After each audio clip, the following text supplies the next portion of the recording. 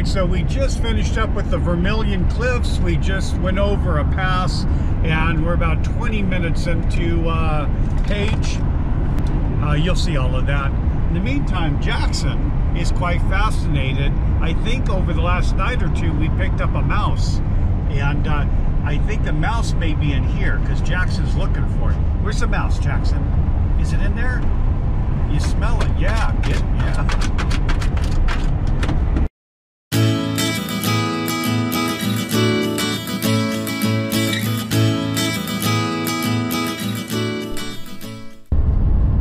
After visiting Horseshoe Bend, next on the agenda is Page, Arizona. First order of business, getting a new set of tires.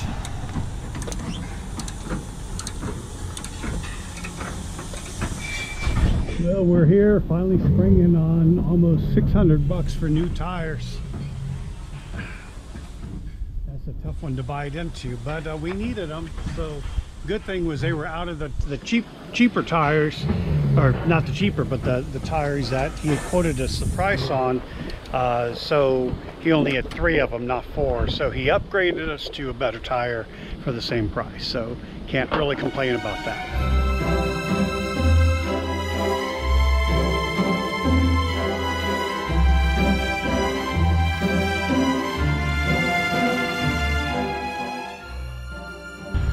Whenever I am stuck in Page, Arizona, near the Vermilion Cliffs with a leaky power steering box, I use Lucas Oil Products Incorporated to stop my leak.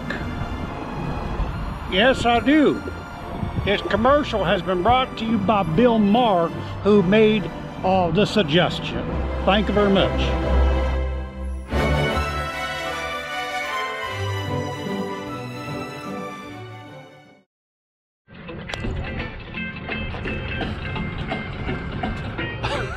Okay, this is our first night at a Walmart, believe it or not, way in Page, Arizona.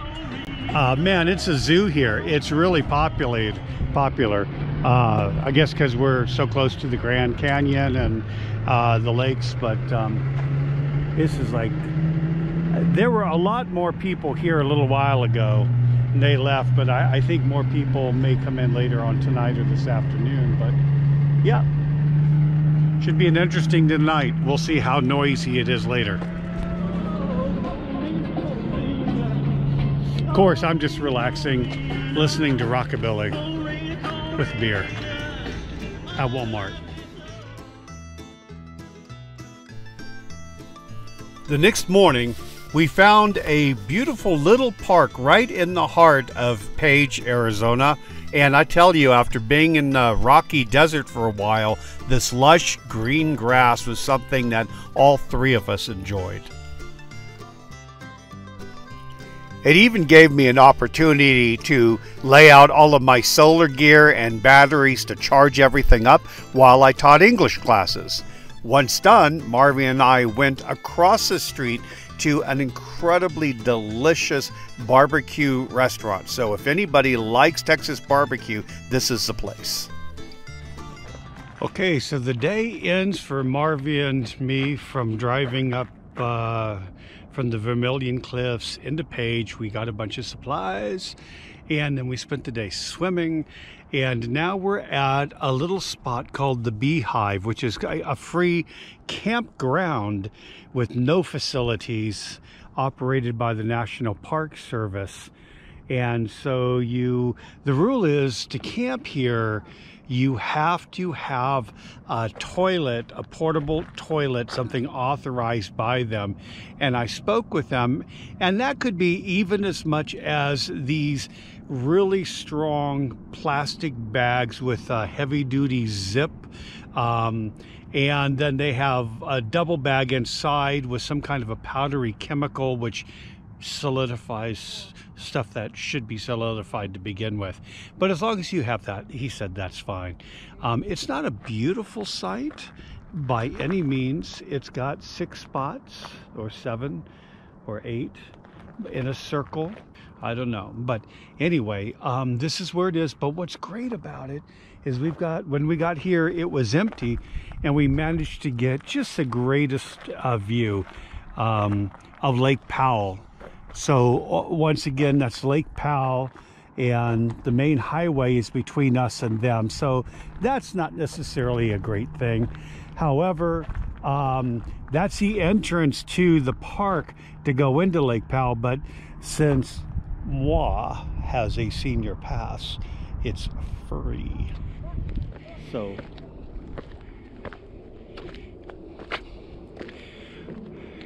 this is actually the perfect time for the desert. Uh, uh, late September. It's just a perfect temperature during the day, not cool, not hot. And in the evenings, it cools down to be just a wonderful sleeping temperature. No rain, and the colors are just beautiful. So let's crest this little rise and oh my gosh. Beautiful. Marvy will have to do this with me in the morning, I think. I just have to pump her with enough coffee and she'll do it.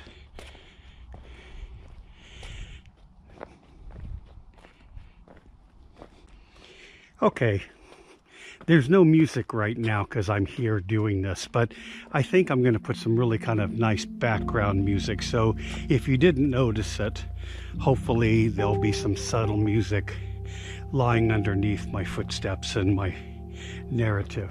Here.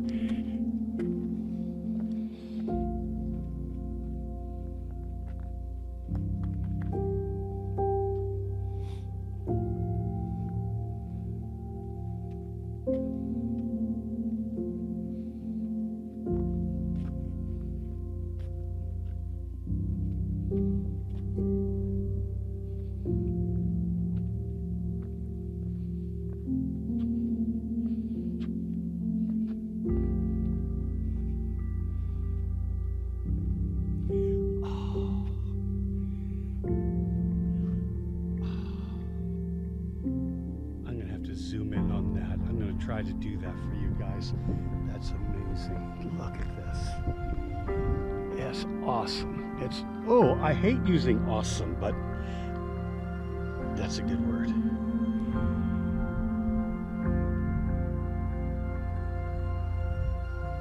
I'm going to just be quiet for a minute with no music. Let you enjoy the quiet here.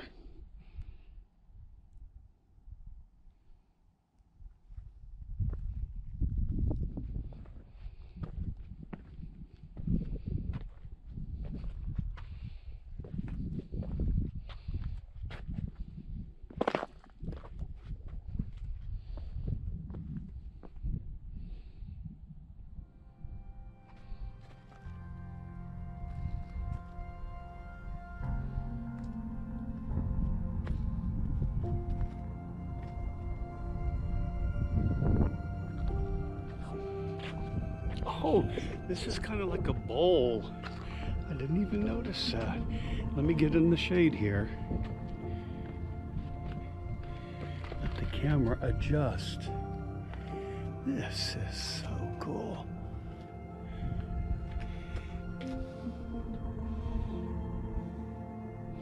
It's almost like puff pastry with all of its layers and kind of a light mocha. Whew. Nope, not quite an echo.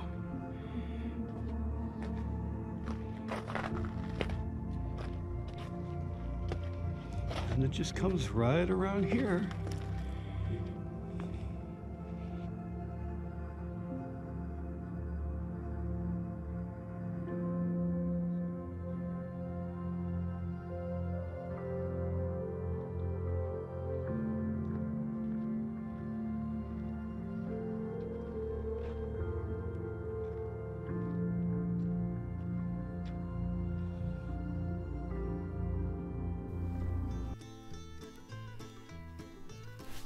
So the next morning, we decided to go find a place to swim. We needed a place that didn't have a lot of sand because of Jackson. That would have been very difficult bringing having him bring all of the sand into the van. So we found the perfect place, and it is the very last exit as you go in from Page towards the dam. It's got a sign for hiking, and it's got an image of two hikers. And if you just follow the gravel road no more than a half a mile, uh, you will arrive at a place where you can park your vehicle and then walk down some of the rocks to the lake. And so, as you can see here, the road itself is is kind of a very easy gravel road to drive down and it'll take you you can see the the dam right in front of us but we are going just right to the other side of the dam um, where you're actually permitted to swim and there are a lot of local folks here that swim too so we were very excited to arrive and go swimming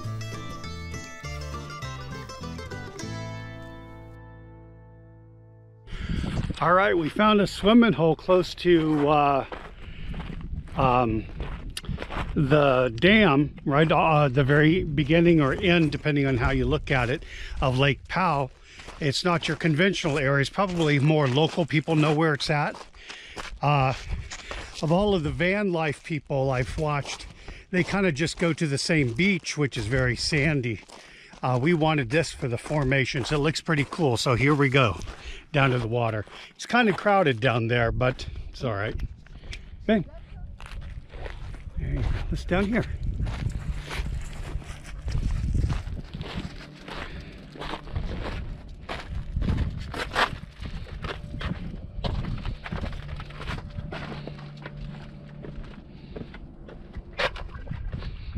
Yeah, where are we going? Where do you think we're going? We're going to the right, Jax. Yeah, come. I know. Come on, Jax.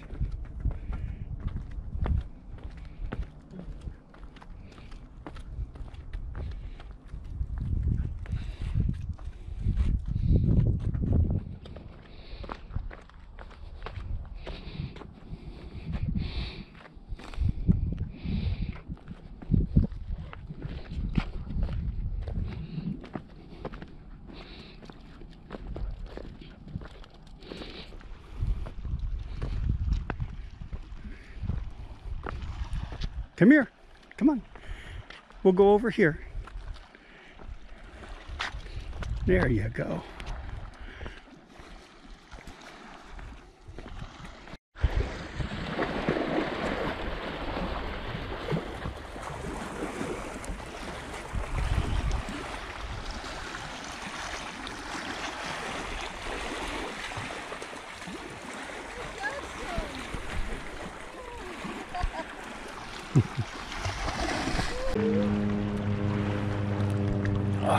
Hi there.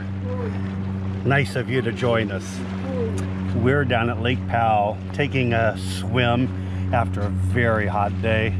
It's been great. So Jackson's in the water. Jackson's out of the water. Marvy's in the water. And I am soon to be in the water. So we'll probably stay here for a couple days. I think if we can't find a place to park, then we will go to uh,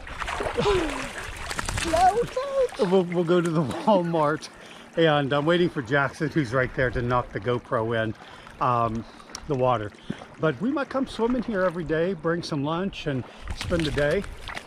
Uh, are you photobombing? Come here. Come get, get, get, get mouse. Get mouse. Go get him he's over there. So um, I think that'll be it for today. I don't know if we'll do the Walmart thing or we may find some camping but we'll spend another hour here swimming.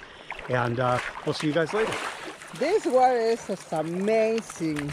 We can it's uh, recommend for coming and um, uh, visit over here all around. It's a beautiful view and such an amazing uh, lake. If you can get the trip coming over See you later. Bye. And our last stop in the Page area was going to be the Glen Canyon Dam. Construction on the dam started in 1957, which actually gave birth to the town of Page. And uh, we went to the visitor center, which is a Carl Hayden Visitor Center. Carl Hayden was a senator from Arizona that worked a lot with the water rights in the northern part of the state.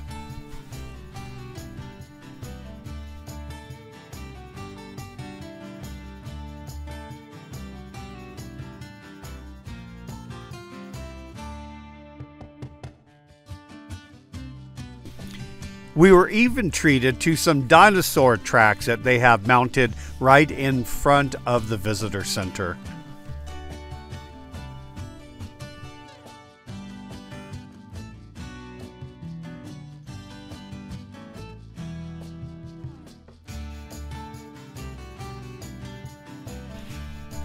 And another fun thing that happened to us on the way into the visitor center was we were able to see a uh, Corvette club that were made up from people from all over the United States traveling and seeing different things together. They were all really fun people, and there's some beautiful. If you're a car person, uh, there were some amazing um, Corvettes to, to look at. Some of them were extremely, extremely expensive.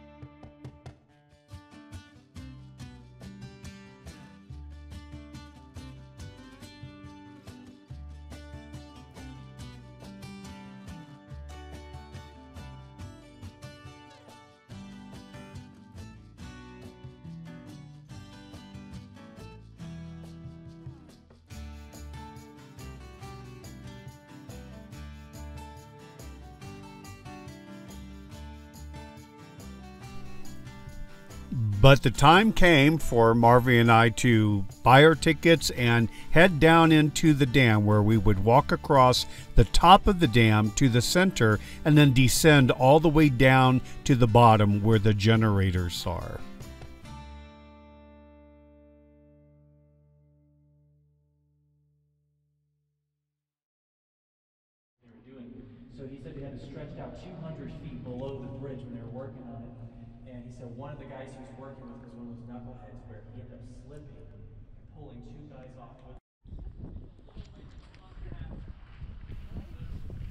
On the top of the dam, it was extremely windy, and uh, but we got to see some of the construction tools that were used to build the dam, including these huge containers that hauled the concrete down from where they mixed the concrete to dump into the dam. And an interesting fact behind that was that they had to use ice to keep it from becoming too hot so that the concrete would cure quicker.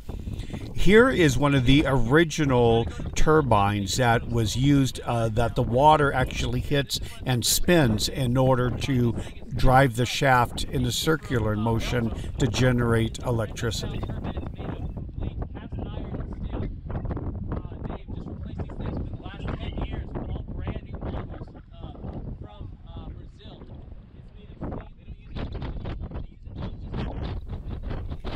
At this point, you have a pretty good idea of how massive the Glen Canyon Dam is. It's not the biggest uh, dam in the world, uh, but sitting on top of it, it's very impressive. On one side is straight down to the generators and the Colorado River, and then on this side, you see Lake Powell. And directly across is actually where Marvy and I went swimming uh, that you saw earlier in the video.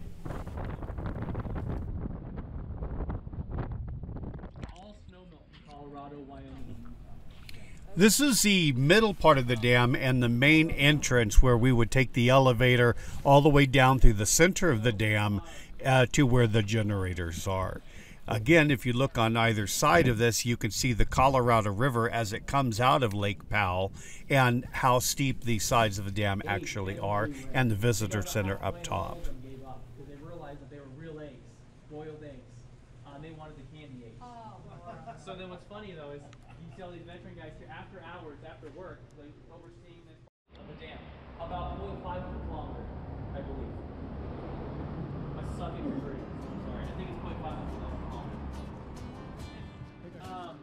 Sandstone retains a lot of the heat from the sun.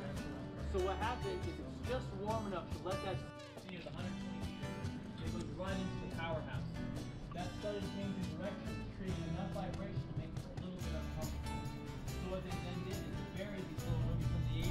And once inside in the powerhouse at the bottom of the dam, you can see the eight generators.